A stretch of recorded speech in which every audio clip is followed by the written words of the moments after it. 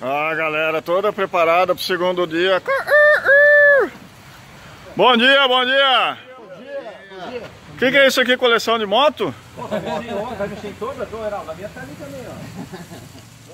Libre soy, libre soy, no puedo buscarlo más. Libre soy, libre soy, libertad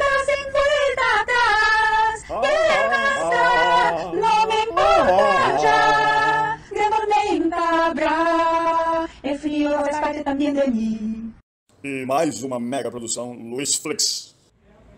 E aqui o oitavo encontro nacional do fórum BMW G650 GS.net.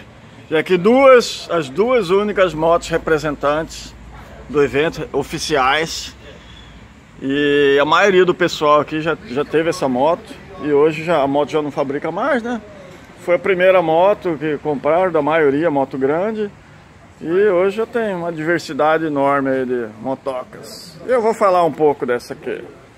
Eu tive esta belezura. A característica dela ela custava 30 pila, 0 km, já vinha com aquecedor de manopla, cavalete central, freios ABS com mangueira tipo Aerokeep, que mais? Protetor de mão, que mais? Acho que é só isso. Então, é uma motinha bem legal, é econômica, só que é monocilindro, então tem uma vibração boa. Então muita gente começou com essa motoca aqui. De moto grande. É, moto youtuber espectadores, você acha que vida de moto viajante é só glamour? Não, não, não, ó aqui. Olha só o que que Luiz Correia é obrigado a fazer. Que vida dura que eu tenho, hein?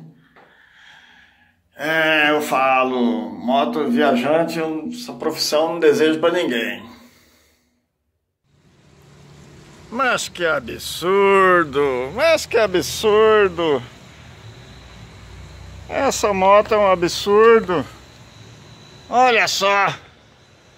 Que absurdo, eu não vou nem fazer comentário, senão a dona Roseli vai ficar fula de raiva comigo.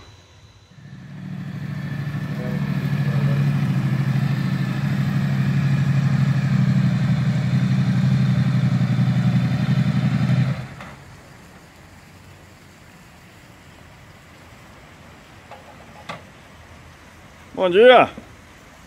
E aí, firme?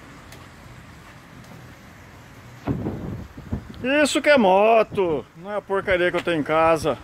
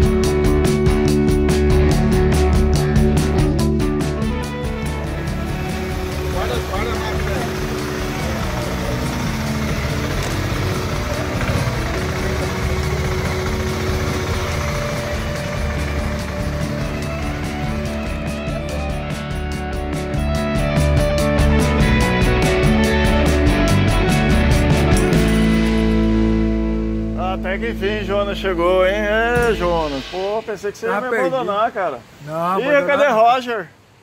Ué, ele não veio? Você não trouxe no bagageiro, não? Liguei pra ele, falou, não, tô aqui no trevo te esperando. falei, Esse Roger é um fracasso total. É, Roger, Roger, Roger, você é uma fraude.